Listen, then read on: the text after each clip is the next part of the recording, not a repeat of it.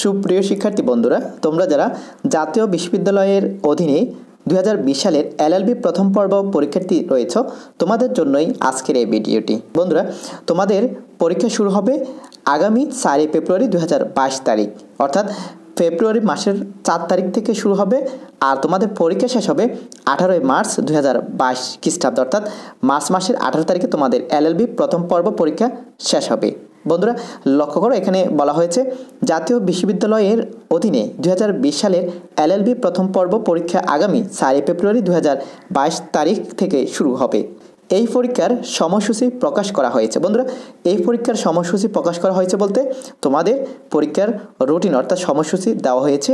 এরপরে এই পরীক্ষা শেষ হবে আঠারোই তিন দুই হাজার তারিখ, অর্থাৎ আঠারোই মার্চে দুই হাজার বাইশ তারিখে তোমাদের শেষ হবে। আর ঘোষিত সময়সূচি অনুযায়ী সকাল আটটা তিরিশ মিনিট থেকে পরীক্ষা শুরু হবে। অর্থাৎ তোমাদের পরীক্ষা শুরু হবে আটটা তিরিশ মিনিট থেকে। আর বন্ধুরা, তোমরা পরীক্ষার সংক্রান্ত বিস্তারিত তথ্য জানতে হলে তোমরা জাতীয় বিশ্ববিদ্যালয়ের ওয়েবসাইটে থেকে জানতে পারবে। যেমন W dot NU dot AC dot BD এটি হলো জাতীয় বিশ্ববিদ্যালয়ের ওয়েবসাইট। তোমরা এই ওয়েবসাইটে গুগলে চার্জ দিয়ে তোমরা সেখানে বিস্তারিত জানতে পারবে তোমাদের পরীক্ষা সংক্রান্ত বিস্তারিত তথ্য।